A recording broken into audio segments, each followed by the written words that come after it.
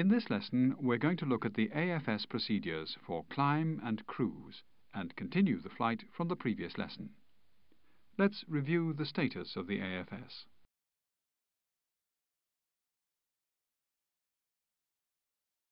First, check the FMA as a reminder of the AFS status.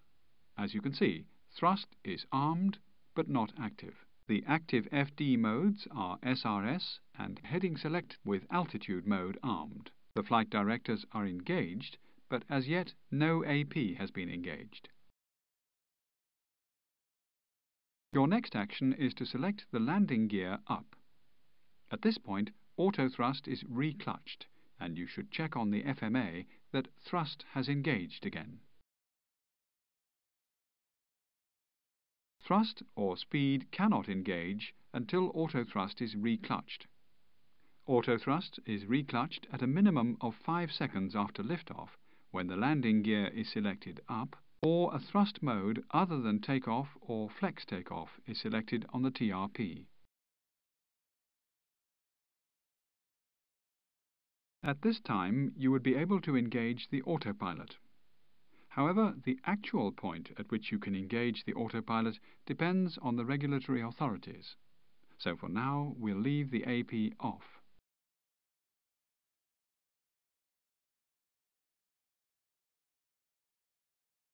You are now reaching thrust reduction altitude.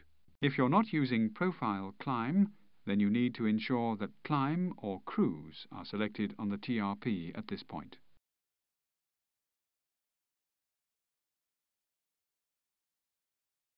You've now reached your acceleration altitude. You should activate the preset function that you entered prior to takeoff. Do this now.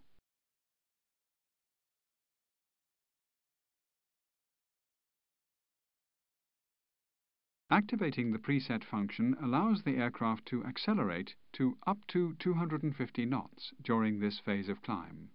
The aircraft will be accelerating from V2 plus 10 knots. Also at this point, Speed replaces SRS mode. Altitude remains armed.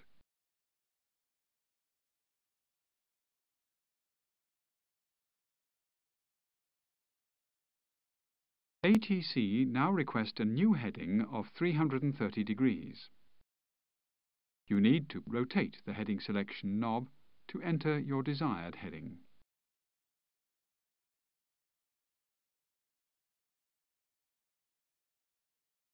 Your clearance has now been revised.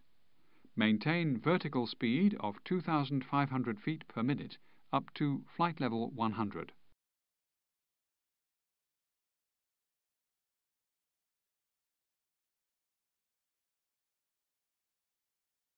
First, select the control to enter your new altitude. Now select the control to enter the new vertical speed. The aircraft will now climb to flight level 100 and then level off.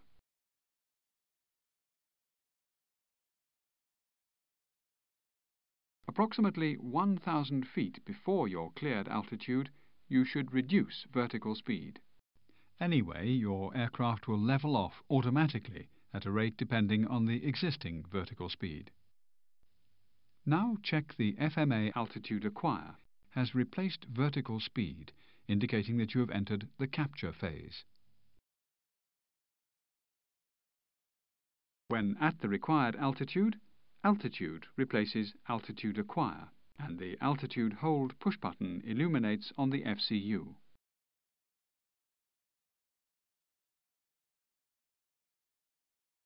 On reaching flight level 100, you receive clearance from ATC to climb to flight level 310. You are now going to initiate the climb and increase speed. From now on, you will be using AP1.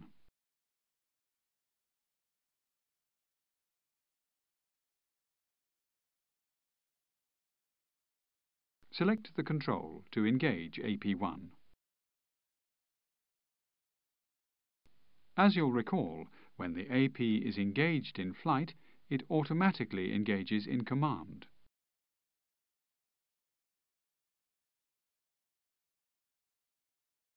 Now check the FMA. This tells you that AP1 has engaged in command.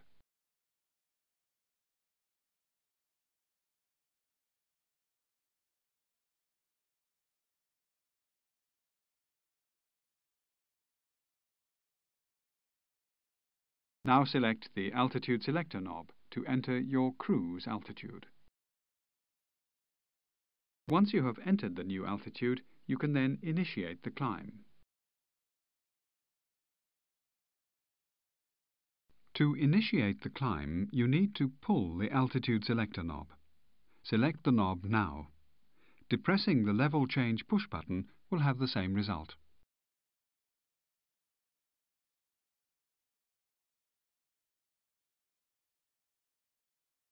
Check the FMA again.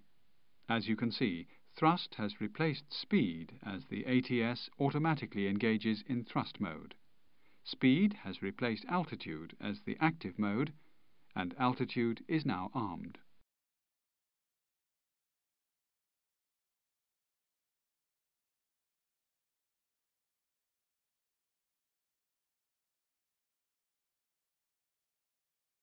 At this point, increase speed to 300 knots.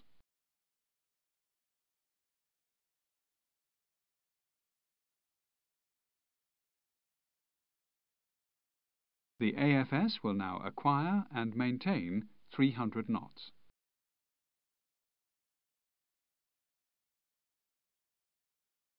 Let's say we've reached approximately 29,000 feet.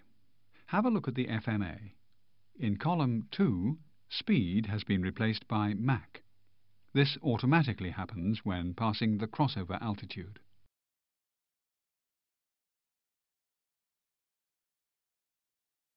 Continuing the climb, altitude acquire now replaces Mach as the aircraft enters the altitude capture phase, and thrust is replaced by Mach.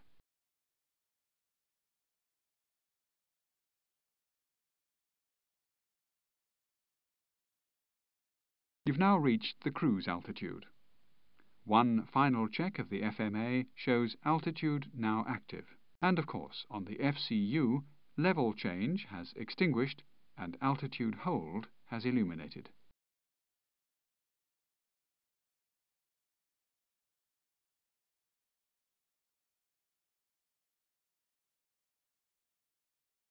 You now receive ATC clearance to intercept and maintain radial 360 degrees from Lima Mike Golf, VOR.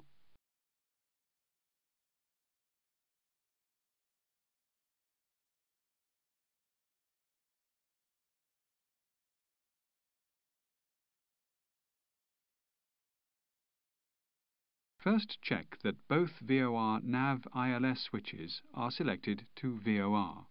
The VOR frequency and course have been selected for you.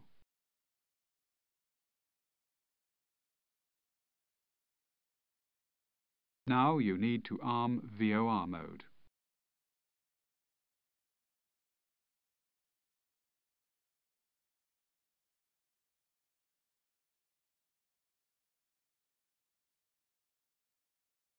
As you can see from the FMA, VOR mode is now armed. As you know, in this example, the aircraft will automatically intercept the radial, but you're able to help the aircraft to intercept by setting appropriate headings on the FCU.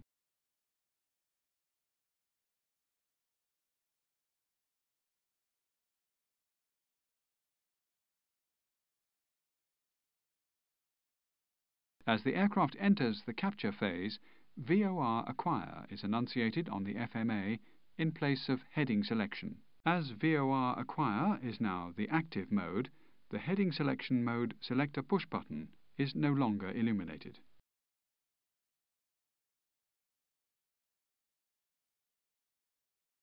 Once on track, the enunciation will of course change from VOR acquire to VOR.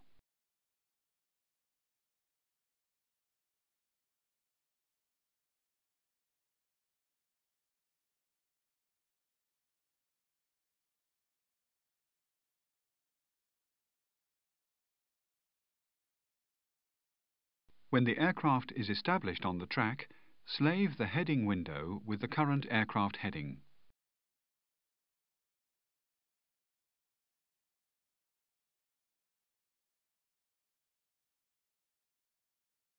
Now let's leave the aircraft in cruise.